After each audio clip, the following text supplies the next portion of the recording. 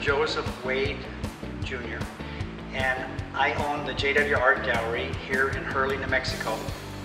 I'm also an artist. This is my work.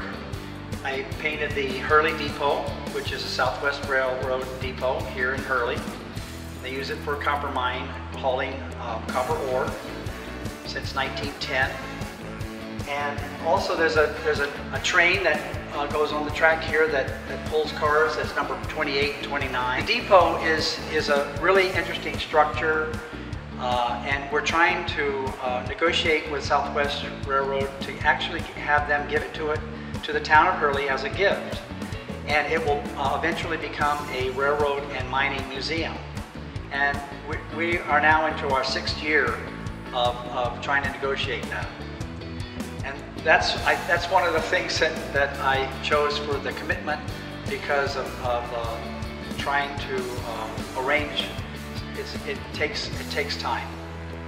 The, the town of Hurley and its citizens are committed to this project.